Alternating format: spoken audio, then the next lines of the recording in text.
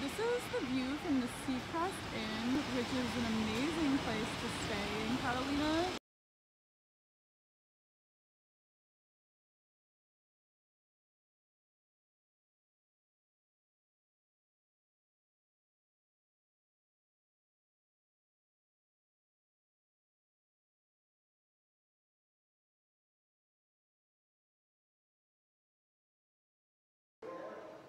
So I am here at the Catalina Island Museum, which is super cool. Don't want to give it all away.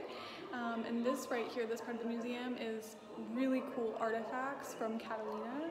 So if you go to Catalina Island, you have to check out this museum.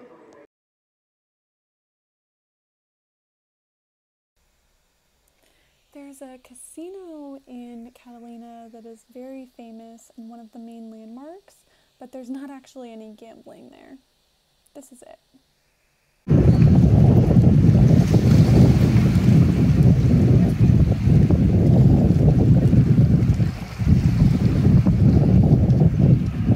Hotel St. Lauren is the most popular place in Catalina for people to take photos to post to Instagram. It's this pink hotel in these last two photos.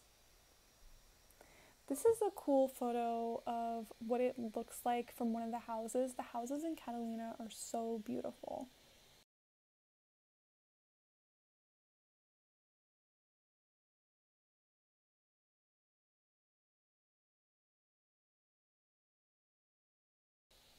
There are so many good places to eat in Avalon. Avalon is the part of Catalina Island where I was, and this is me in front of some statues by one of my favorite places to eat that is actually called Catalina Coffee and Cookie Company.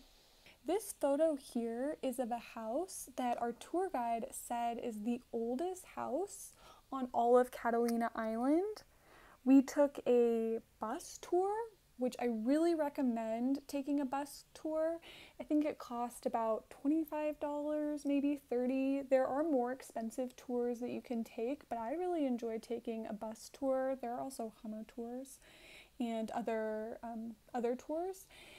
Now, the this house that they said is the oldest house. I'm not exactly sure how old it is, but this next picture, this is the Holly Hill house and this house with the cone like brownish red roof, it was built between 1888 and 1890.